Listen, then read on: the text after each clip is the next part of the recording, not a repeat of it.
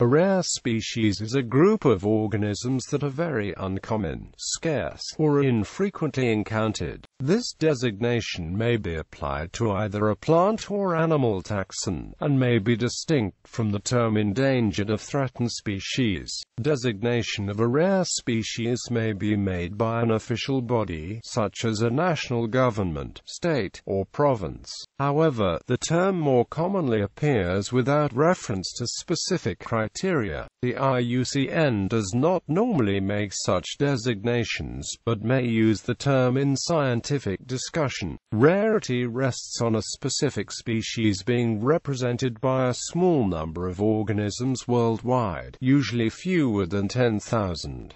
However, a species having a very narrow endemic range or fragmented habitat also influences the concept. Rare species are not uncommon, since nearly 75% of known species are rare. A species may be endangered or vulnerable, but not considered rare if, for example, it has a large dispersed population, but its numbers are declining rapidly or predicted to do so. Rare species are generally considered threatened because a small population size is more likely to not recover from stochastic events. Rare species are species with small populations. Many move into the endangered or vulnerable category if the negative factors affecting them continue to operate. Examples of rare species of the Himalayan brown deer, desert fox, wild Asiatic buffalo and hornbill. A rare plant's legal status can be observed through the USDA's plants database.